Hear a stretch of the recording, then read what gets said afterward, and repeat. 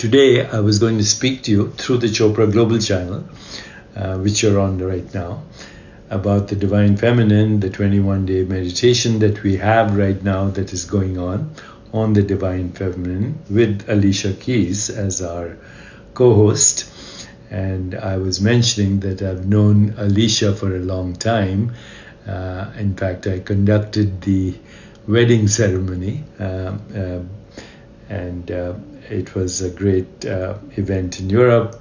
And we've been friends for a long, long time.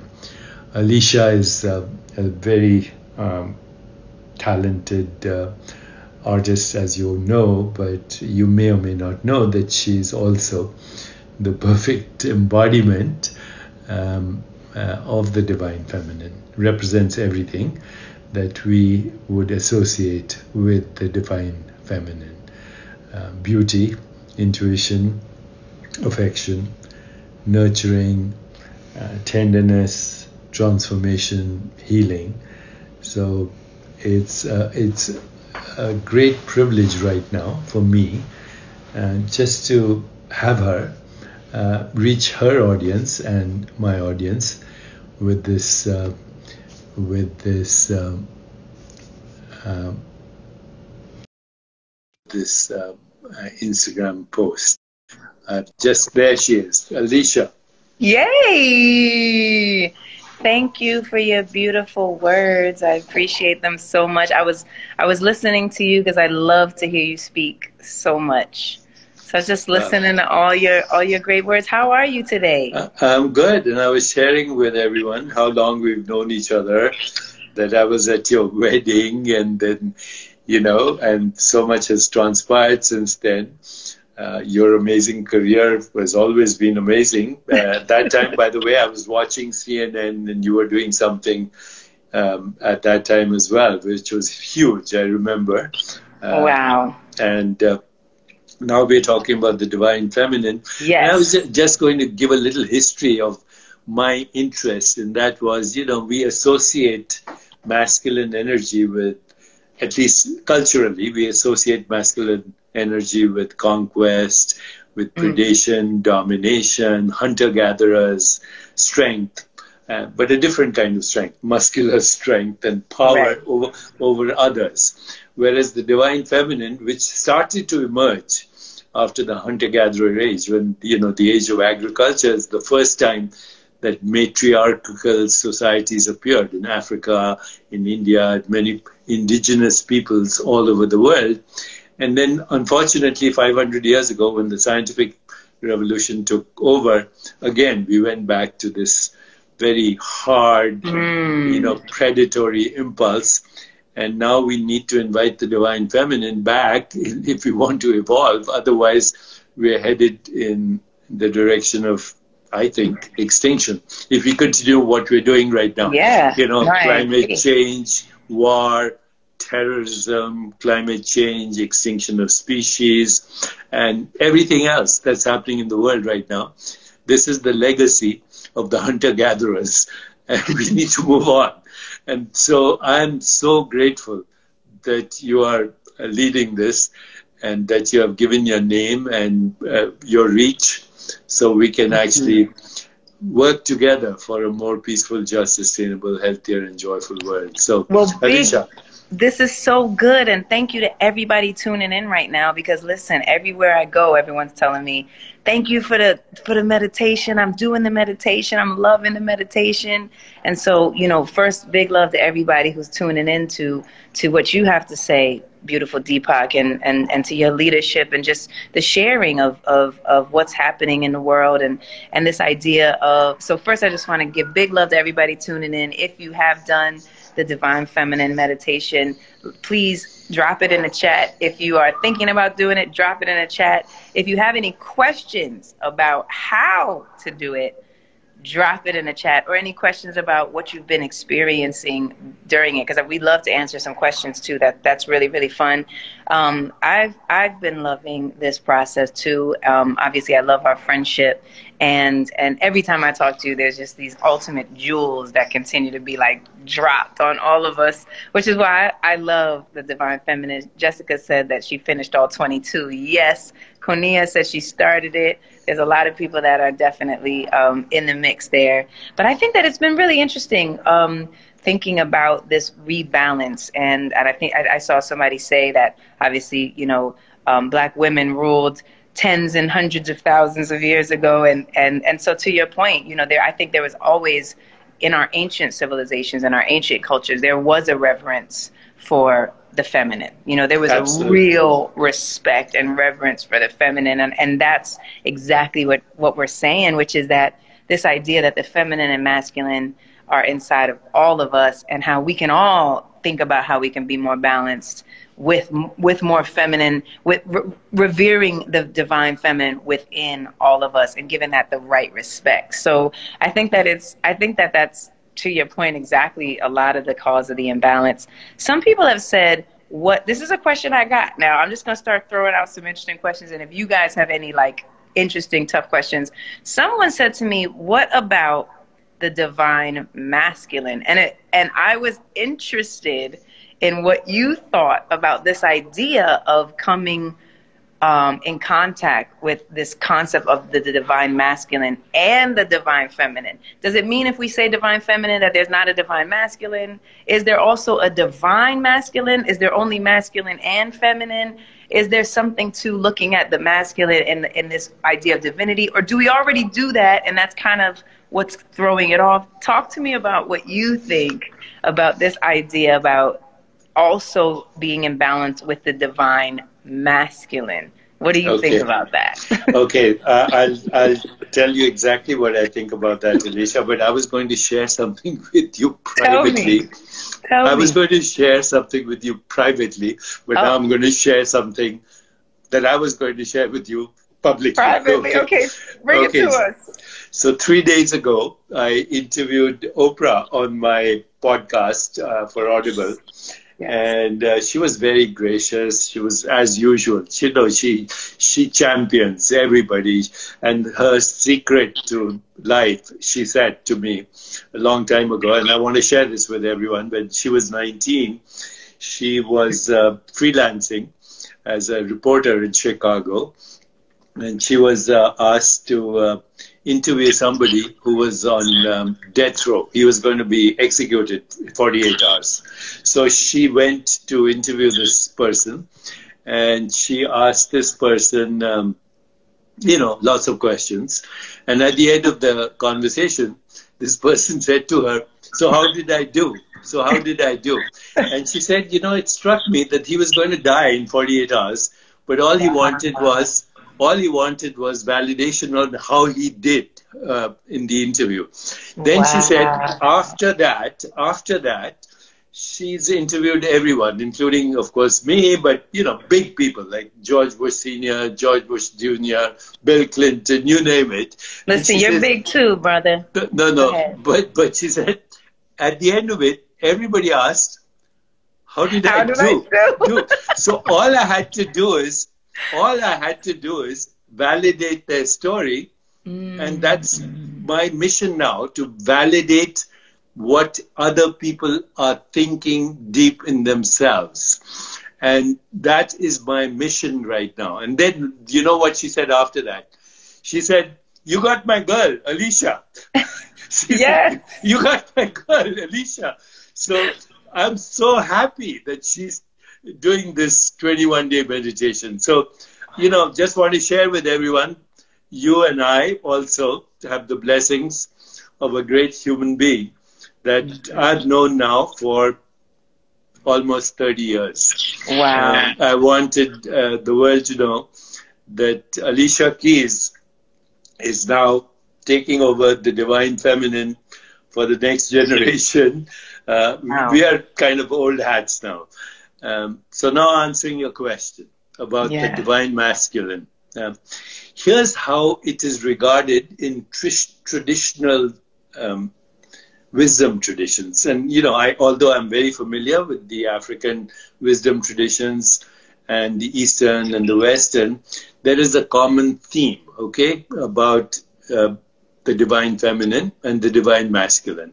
So in the Eastern wisdom traditions, like in Buddhism and even in aspects of Gnostic Christianity, the Gnostic Gospels, the Gospels of Thomas. By the way, if you've ever seen paintings of um, the Vatican, where Thomas had the Last Supper, um, he's the only one who's not white.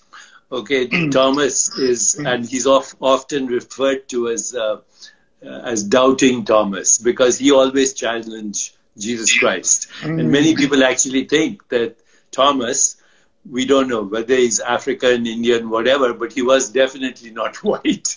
And he was also always challenging Jesus. And so many people say maybe Thomas was actually Jesus' teacher.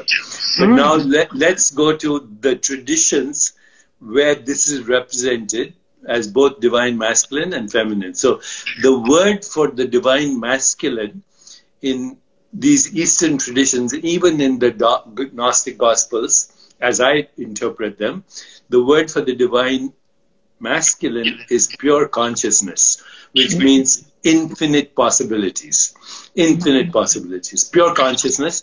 But in order to manifest that pure consciousness into this world of space time, causality, human beings, tra- stars, trees, everything, in order for that divine masculine to manifest as the universe, it needs the divine feminine. And the divine feminine is referred to as Shakti, literally Shakti, which means I like power. That. I love okay? Shakti. And Shakti is self power instead of agency power. Agency power comes from, you know, you're the president of the country, you're the head of the corporation, you're a billionaire, whatever. But agency power lasts only as long as the agency is there. Then it's gone. So if we want real power, mm. then we need Shakti. And Shakti starts with joy, not with happiness. Mm. Happiness is always for a reason. But Shakti says, I am full and enough in myself, and my nature is joy. That is called Ananda Shakti, Ananda, mm. bliss. Then the second Shakti that comes from there is the Shakti of intentionality, the power of intention organized around joy. So that's called Kriya Shakti, intention Shakti, mm. which leads to Icha Shakti, which is the spontaneous fulfillment of desire, which also leads to what is called Gyan Shakti, which is the knowledge that the divine masculine cannot do anything unless the divine feminine activates that as Shakti. Now you said, is it only masculine? Is it only feminine? Is it LGBT? Is it transgender? It's all of the above. Because this combination of the masculine and feminine can appear in infinite forms. In fact, if you look at some of the iconography of ancient wisdom traditions, the divine is always represented as both masculine and feminine. You know, one of my friends long time ago was Michael Jackson, and when I met him uh, at his ranch many, many years ago, the first thing he showed me is iconography of deities that were both masculine and feminine. And I, I, I got it then that, you know, we artificially divide ourselves as these labels and these genders. In right. fact, we are all right. above. This is powerful. Now, this is powerful. This this genderlessness, this labellessness, is really something I think that I pulled from um, our meditation and from thinking about you know what it all really means. I mean, we we we it really I think we start to conform so much to so many constrictions and boxes because of these labels that are placed upon us in so many ways that I love this idea that you know it all goes together and that's really the point. And i do i do love one of the things you said to me is that you know we all come from a mother. And and and so that that connection to the feminine energy that is so powerful and and does deserve so much uplifting. But it's but it's genderless. Like this we put we say feminine and we automatically put a certain gender on it and it's and it's actually genderless. And so i think that's just like the masculine is actually genderless And to your point, that's why everything, however we identify, is actually within all of us. And so getting out of this mind state, which is very an oppressive mind state that we have to fit in these boxes and in these labels, is completely liberating. And I think that's one of the things that I feel so strongly with listening to the 21 day meditation on the divine feminine. It, it, it actually breaks it down in those degrees and that we are that expansive, that we are that undefinable, you know, that we can create um, everything and we have everything within us to create. And so this is, this is, this is powerful. I mean, that's cool that you answered that. Thank you. Because I, I thought that was just such an interesting um, question that came to me from somebody. And I was like, you know what? This is a good conversation. Point is, let's get into the divinity within us all because we have this higher capacity that we all can reach. And there's nothing stopping us, literally. And when we're talking about feminine, masculine, we're just talking about qualities of awareness. That's all we're talking about. And mm. awareness is mm. infinite, infinite. So it mm. includes every quality. And sometimes we, with our limited understanding, say this is sacred, this is profane, this is a sinner, this is a saint. Mm. But actually, we are all of the above. You know, they say the saint has a past and the sinner has a future, so just let it be. You know, oh. just let it oh, be. did you uh, hear? No, no, no, no. He did it again. Did you hear? He said the saint has a past and the sinner has a future, so just let it be. No, that is so, because it's judgment. This is what we do. We judge everything and everyone, and mostly we judge ourselves like in this harsh, harsh way. And so I love. I love that. Like, just let it be. Just let everybody grow. Let us to continue to learn. Let us continue to find our path, and and that's the most important thing. You know, is just continuing to find who you are and who you who you want to be, who you're meant to be, who you're you know who you're discovering. So that's that's interesting. I'm looking for questions on here. Everybody's saying that i might be distracted by the comments. I'm not. I actually i'm tuned in and i actually want to know if there's anything that people are wondering. Some people have said um, that they found it dist- they find their mind so distracting when meditating or when doing this meditation. It's 21 day meditation which by the way it's the last day that y'all can sign up for free. So if you haven't signed up yet make sure that you jump on because first of all the chopra app is amazing. I'm on it all the time. I'm listening to the meditation myself. There's retreats and there's information and there's things for kids and there's stories and there's so many things that you can really get into with it. So make sure you definitely sign up today. So if if there if someone's meditating and you hear all these thoughts in your head which right everything's in our mind all this judgment all this limitation that's been placed on us what what do you do? Do you you know i've been told to just keep going. I've been told to just like you know let it um, observe it and then let it pass. What do you do? Because i'm sure things come in your head too um, and and and what do you do with those thoughts that are in your head? So you know over the years it's been a process. Over the years i've realized that every judgment i have about the other is actually a projection of my judgments about myself. So anytime you're defensive before you're attacked, anytime you seek to give explanation without being asked, anytime you label, anytime you use verbal, verbal formulas, anytime you stereotype based on race or religion or economics or privilege, you're actually judging yourself, not the other person. And mm. as long as you're aware of that, then slowly you stop labels. You stop labels and let it be. Because when you let it be, you realize that there is there is some truth in every judgment, but there is also a lot of untruth in every judgment. So, you know, the Buddha said one of the eightfold paths to enlightenment is right perspective.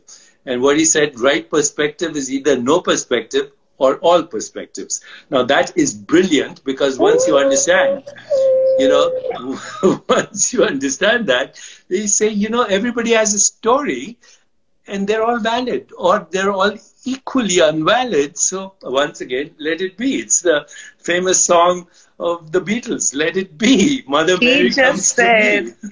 There's And Mother Mary is the divine feminine. Listen, the Beatles were dropping all that information Yeah. and, and learning and open to learning so much. He just said the best perspective is either no no perspective or all perspectives. Not this That's in between stuff. This is crazy. Oh my gosh, it's so good. Somebody asked how do they get to the app? You can download it on your app store, Chopra. You know, you just go to Chopra. You see that's where where, where Deepak is calling in from. So C H O P R A. Get it on your get it on the app store. Download it right to your phone. Get right into it. It's so beautiful. A couple of other people asked me about the songs in A minor um, letters. My my I just celebrated the 20th anniversary of my first album, Songs in A Minor, Deepak, and the love and the letters and and and the memories is is is so good. And so to everybody who who did that and, and spread love and and who's uh, uh, gotten the deluxe album um, for, for our AK20 celebration is definitely amazing. Um, somebody said hmm, it's I find it's not about changing ourselves. It's about resting into ourselves. How beautiful. So that is what liberation is. Liberation is never, liberation is not of a person, liberation is from a person. Do, do I make myself clear? The moment I liberate myself from my self importance, I stop hmm. it. I stop canceling other people's stories. Okay, we are now living in what we call the cancel, cancel culture, right? Hmm. Cancel so and so, cancel. But the moment I rest in my true being hmm. and observe that that which I call Deepak is a changing story anyway, why defend it and why attack other people's stories? That's Oh my gosh, source- because you, that's where creativity comes from when you accept all stories and you realize that fundamental reality is ambiguous it's contradictory it's full of uh, paradox and if it weren't we'd all be algorithms Oh my gosh. No, that's really cool because I think that's I think that's so hard for us. We feel like we're supposed to be something, right? We're so we're I'm supposed to be a singer. I'm supposed to be a writer. I'm supposed to be successful. I'm supposed to be um, a doctor. I'm supposed to be uh, you know, a graduate from school. I'm supposed to be all these things. And I guess what the point is is that you can do those things. You can, and you should, and you should. You should do them. You should experience them. You should achieve your dreams. You should dream things that you want to try, and you're doing those things. But you are not.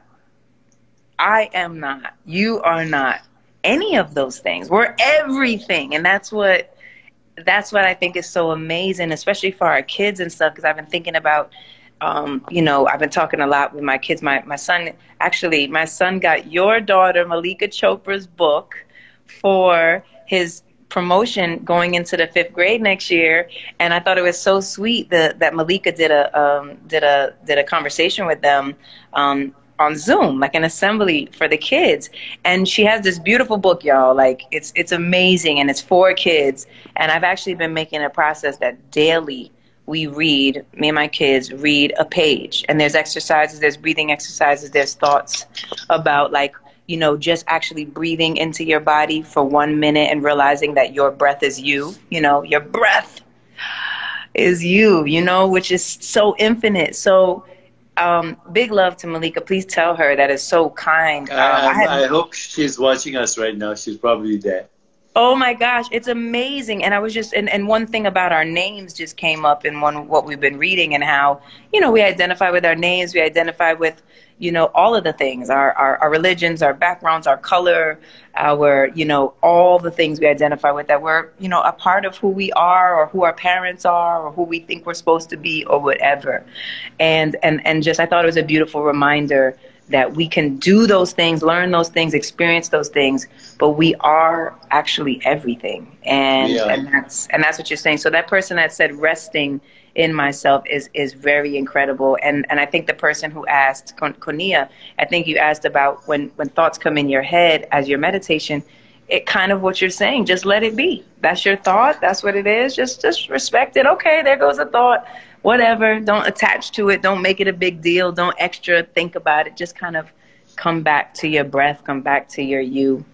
And that's really incredible, man. Oh wow, I love talking to you. Every time. As I was listening to you right now, I was remembering that when we first met, yeah, your son was still in your womb. Yeah. You remember? still at, uh, now there, there he is, a, a, a person by himself. But resting in the self also gives you clarity that yourself is not your selfie. And this is the big thing that's happening in the world right now. People have sacrificed themselves for their selfies. So you know they. Whoa, whoa, whoa, whoa, whoa! They've sacrificed their self for their selfies. Wait a yeah, minute. this is what it's all about. The culture, right? Right now, it's not about myself. It's about my selfie. Now, as long as we realize that the selfie is fun and engages with other selfies, that's fine. But it's not the self. It's not who we are. Our name, our brand, or whatever our our achievements is not who we are. Mm. Who we are, who we are is always infinite, mm. and we should always remember that. And that's the goal of these meditations. They're not, in a way, intellectual. They have to be experiential and go beyond all our human constructs about who we think we are. I am not Deepak Chopra. That is my name. You can find it on LinkedIn. Everything you want to know about that name, you can find it on LinkedIn. If you want to know who I am, then stop judging me and stop judging yourself, and we'll all be free. Oh my, wait, nah. This is too, listen, this is too amazing. And I think that I, lo- I love this conversation so much. I hope we have a hundred million more.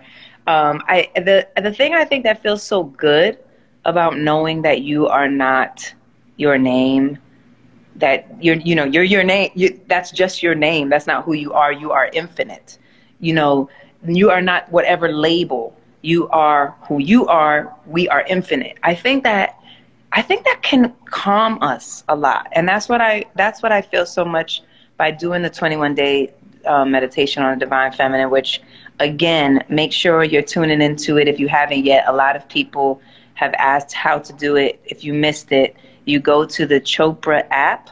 You right on your phone, download the Chopra app, C H O R P A. Today is the last day that you get it for free. It's been free this whole time. It's been so good. But and you're loving it. And this is the type of conversation that we're having through this meditation.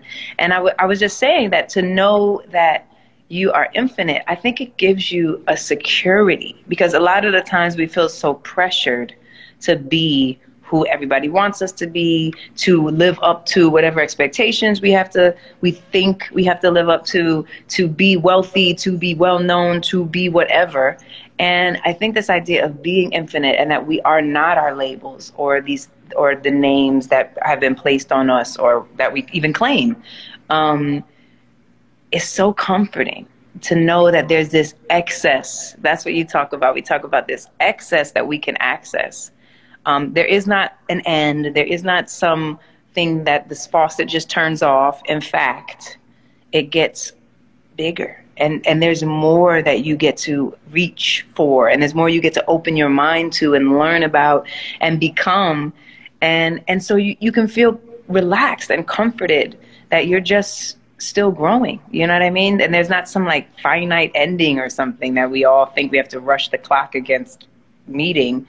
It's, not that. So I don't know, man. This is this is what. Ooh, my brother Arnstar is on. He is full of wisdom. He just said, "Don't be bullied out of your life." You know what I mean? Like to to the point where you are not even living your own life because you're so afraid of everything, or you you think you're supposed to do something and you're not following and and tuning into what is it that you what's your direction from here not from here not from here from here you know so anyway as you see i'm i'm i'm loving this this is so beautiful i don't know do you have any departing words that you want to share well, you, you, just mentioned rest in peace and that's mm-hmm. the peace that spiritual traditions talk about the peace that under, passes understanding. The peace that passes understanding is what meditation is about. And if we rest in that peace, we have nothing to prove because we are infinite and infinite is enough. There's nothing more than infinite as enough. So rest in peace. The, the, it's the peace thing, that passes understanding.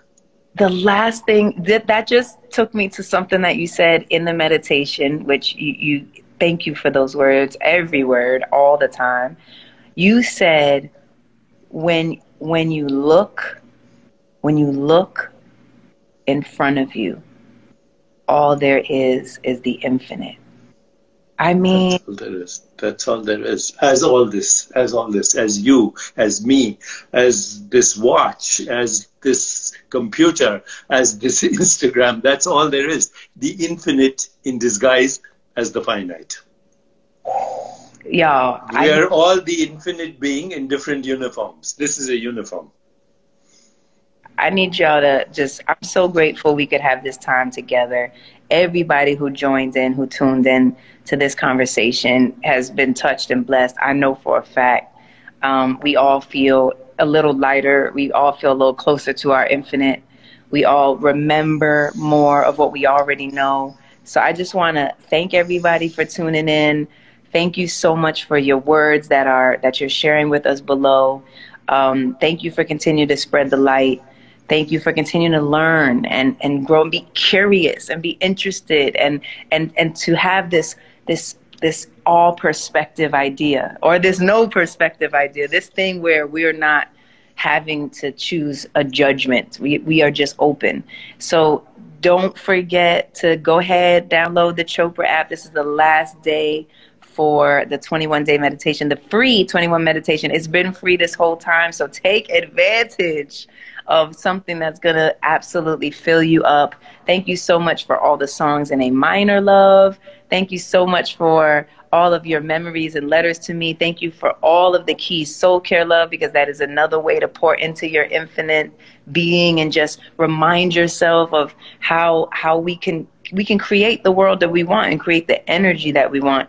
But most importantly, oh, thank you for your underdog love. The remix is amazing, and everybody keeps talking about it on the chat too. The app is called Chopra, C H O P R A. So that's all you got to do is, is is go for Chopra on your app and download it. Boom, right now. But most importantly, thank you, Deepak, for this mission that you have in life to just continue to be the example of the infinite and be the example of openness and how we're all learning and you're you're sharing and growing and learning and for bringing us on these journeys and for making things like this possible so that we can have an access point. Because you know there there's all this access but but most of the time we don't even know how to access it so. Okay so a lot of people are asking what is the divine feminine after all this conversation. Okay. So uh, my comment is just look at alicia keys. She's the divine feminine perfect embodiment, and then we're all set. So thank you for being the embodiment,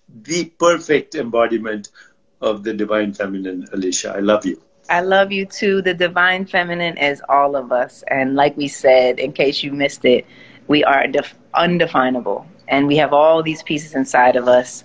And, and so please go check out the meditation so that you can continue to grow and learn and, and, and, and learn like we all are this is so fun. Let's make sure we do another one soon because man, my mind is like, oh, let, oh let's just say the one last thing.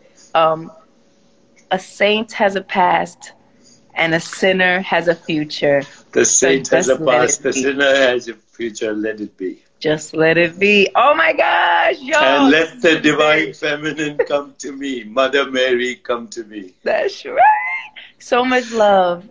Blessings, love blessings, and talk soon. If you want another amazing video highlighting excellence in the Indian community, check it out right there next to me. I think you'll enjoy it. Continue to believe, and I'll see you there.